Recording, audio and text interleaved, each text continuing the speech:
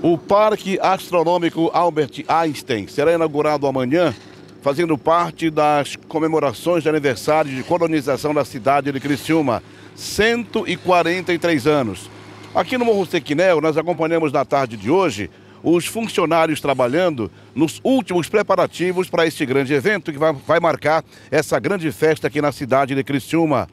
Tudo vai começar por volta de 8 horas da manhã, onde haverá missa na Catedral, na Praça Nereu Ramos. Depois da missa, às 9 horas, o corte do bolo. Às 10h30, aí sim, a inauguração desse local onde nós estamos agora, que é o Parque Astronômico Albert Einstein. Haverá uma visita guiada.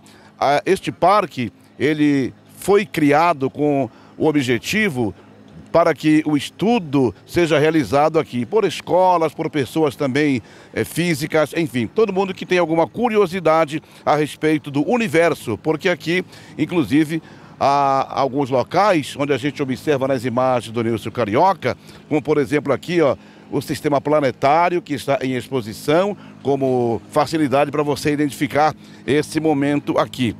Parque Astronômico Albert Einstein será, portanto, inaugurado amanhã. Isso por volta de 10 e meia da manhã, da manhã de amanhã, sexta-feira, dia 6, aniversário da cidade de Criciúma.